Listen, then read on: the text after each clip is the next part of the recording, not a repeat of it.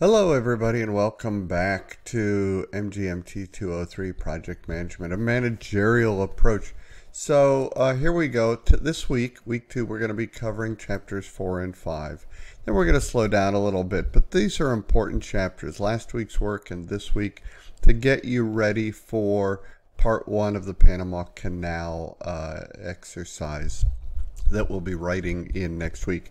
So we'll start out this week by talking about conflict and negotiation, right?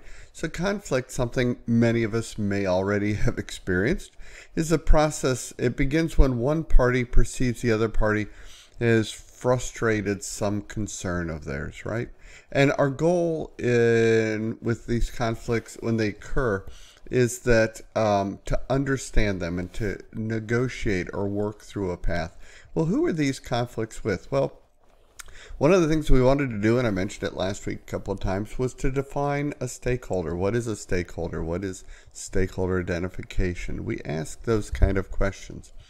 And so a stakeholder is, in the process of identifying them, is identifying that individual, group, or organization who may affect, be affected by, or perceive itself affected by a decision, activity, or outcome of a project. And then analyzing and documenting the key information, the relevant information about their interests, involvement, and influences on project success. That's a lot. Frankly, it's identifying anyone affected uh, by the project and analyzing their information regarding your project success. Just to simplify it, it's a good definition if you wanted to use that as you assess stakeholders in the Panama Canal exercise.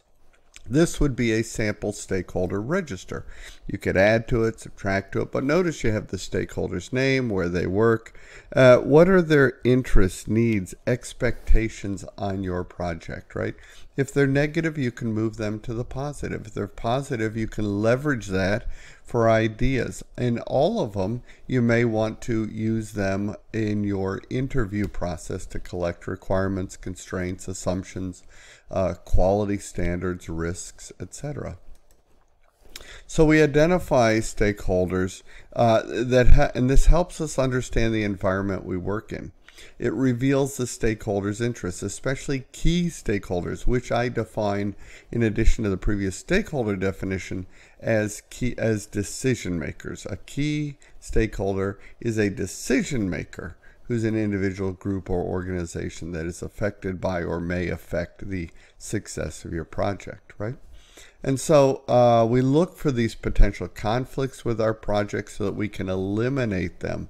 And we want to leverage relationships. And really, it's all about building trust. Okay. So if I'm going to interview stakeholders, these are some of the questions I might ask. I throw them out there just for your information only. You may read through these and go, ah, good list. I could build from this, or I can use some of these in my own stakeholder interview questions. Well, one of the reasons I do stakeholder interviews, uh, we just said, was to assess their level of interest and involvement. And then we want to define key stakeholders and engage them right? And uh, so stakeholders have in this engagement process various levels. They're unaware, maybe they're resistant, neutral, supportive, or even leading, right? And so I, I given you an example. This list could be much longer. It's just a couple of stakeholders on the left, not by name. Though when I did this originally, I used names. Uh, and then off the t- across the top are these levels I just mentioned. And CE is their current state, and DE is the desired engagement state. And so, not everybody needs to be moved to the right. Not everybody has to be supporting or leading.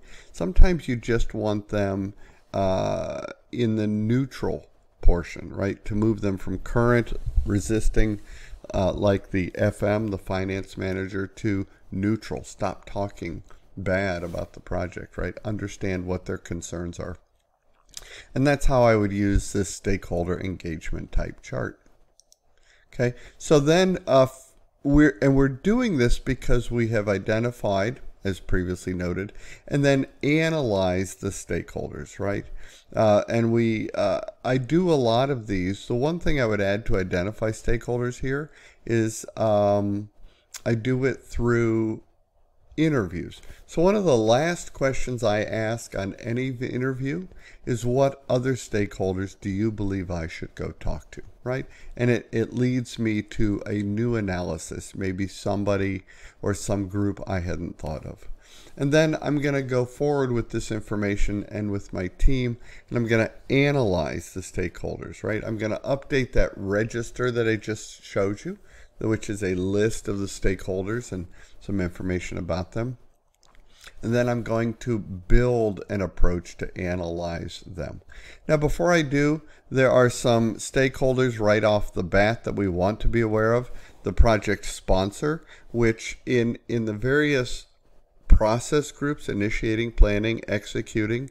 MNC is monitor and control. And closing, you can see the project sponsor who basically owns the money, right? Uh, if funding your project, the project sponsor is going to be in have a role in all of the phases of the project. But then the team has a role too, as defined here for like, for example, to help you plan to create your scope statement and your work breakdown structure from there by decomposing the scope statement, right? They're going to help enforce the ground rules that the team has set up and agreed to work by, etc. You are not doing all the work yourself, is my point. You have a team to do it, ideally. So uh, we want to be aware of the functional manager, right? This is basically if the sponsor owns the budget largely. Uh, for your project, the functional manager generally owns the resources, right? You're going to need principal technologists or engineers or other specialties, and you normally will go to a functional manager. Now, there is then some uh, friction created between the functional manager and a project manager. And we'll talk about that later today when we talk about the various organizational types a functional organization, a projectized organization, a matrix organization, etc. Uh, but there's more on this slide you can read for yourself and in the uh, literature, of course. And then the project manager themselves, right? Your role is to meet the objectives. You're the one person really in charge on, uh, and you pick hopefully your project management team, though some people will talk about it uh, will be assigned to you, right? Uh, you are not normally a technical expert, but you have some expertise in something. But you're a generalist who uh, applies these project management tools uh, throughout all of the knowledge areas. And we've talked about those before um, scope, schedule, cost, uh, quality, resource management, communications, stakeholder management, risk management, procurement management. I really believe uh, covered it. Uh, and um, you're the only one with the knowledge of all that on your project that can integrate. Of course, you're, you will be referring back to the sponsor and addressing issues and escalating as you need to. Now, uh, a couple other roles is the portfolio manager if your company has one, or a project manager. And we did discuss those last week a little bit right? You may work for a, pro- a program manager, for example, uh, and if that's so, then they are related projects, right? So you want to, frankly, have a relationship with the other project managers around you related to that program manager. Now, we talked about stakeholder analysis, and one way to, so once I've collected all this information on the stakeholders, I want to analyze the stakeholders. And one way we can do that is within power and interest grid. Notice the power on the uh, left vertical and on the horizontal is interest. And and stakeholders generally fall into one of four categories. Bottom left, I'm going to just monitor them if they have low power and low interest in the project. But if they have high power and low interest, I'm going to work to keep them satisfied. So it's important to know the stakeholders' needs. What are the needs of the stakeholders? If they have high power and are very interested in the project, I am going to closely uh, manage them with updates and engagement, etc. And otherwise, I'm going to keep them informed. Now, here's another look at the same. I, I use this for two reasons. One, because notice that power goes by other terms like authority, and interest goes by other terms like concern. So those are really synonymous, interchangeable terms when talking this grid. Also, I wanted to show you another way of, of assessing or analyzing the stakeholders is called the salience model on the right. It's completely separate, but similar. And there you assess stakeholders based on their power or and legitimacy and urgency, right? And where they triangulate, it's like a Venn diagram. That's really, those are the people that you really want to be most concerned with and to manage. A third model, often talked about nowadays, is the cube model, which you can find uh, online pretty easily. So uh, we we already mentioned stakeholder engagement, moving them from a current uh, position to a desired engagement, and their current might be your desired engagement. Not everybody, I said, has to be supporting, right? But we want to know what it is because so, it will drive then our communications plan, drives how we communicate with them, right?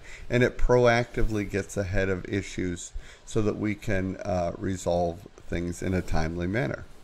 Now, project managers then assess and address stakeholders throughout the entire life cycle. It's not a once and done. When you study project management, it's a process. But in reality, it's through it's it's that's called an iterative process, meaning you will repeat that process over and over and over and over throughout the life cycle of the project. And of course, while engagement engaging stakeholders, we can expect conflict. Conflict is just life, right? We try to avoid it, but it's going to happen anyhow. So, you know what? Let's make it an opportunity, right? So, there are categories of conflict that we'll talk about. Um, largely, it's about goals versus expectations, uncertainties about authority, and even interpersonal conflicts can be one of them. Now, before I get into the engagement, we should talk power, right? A project manager is form of power, right? There's formal power, right, based on the position, reward power, which is really the best, and I give you some examples. Uh, penalty power is the worst form of power, and both reward and penalty power largely come from this formal or legitimate power. There's also an expert power, like a subject matter expert, uh, referent power, which comes from another person liking you or respecting you, right? Maybe you like Seinfeld, you have some ref- he would have some referent power. Maybe you admire Patton, even if you didn't like him. Maybe you admire Patton, right? There's a referent power there, and of course, information, informational and financial power too. Now, uh, as it we discuss stakeholders, so it comes down to then conflict management, right? Conflict management is largely done by the team, right? So conflict is inevitable. So turn it into an opportunity. First, even though it's inevitable, you want to try and avoid it, right? You want to set ground rules. You want to plan communications with the team. You want to follow good project management practices, um, like listening and face to face communications. And clear roles and responsibilities are essential but conflict is going to happen. In fact, um, studies have shown these seven sources of conflict to include schedules, priorities, resources, technical opinions, administrative costs, uh, procedures, costs, and then personality. I, frankly, would have guessed personality would have been much higher, but it isn't. By studies, it's number seven, but it's still there. Notice uh, several of them are listed in the PMBOK guide uh, itself. So it is aware uh, that this happens. Now, when you have a conflict, it's best resolved by those involved, right? That's my Johnnie Cochran moment, right? Uh, except when you have proof. So it's best resolved by those involved. So um, you don't necessarily, as a project manager, need to get into every conflict. And I know plenty of people that do that for a living, it seems like uh, best resolved by those involved. If the project objectives are not being uh, threatened, let people work things out, monitor the situation. Okay, we'll come back with tools uh, for conflict management in the next portion.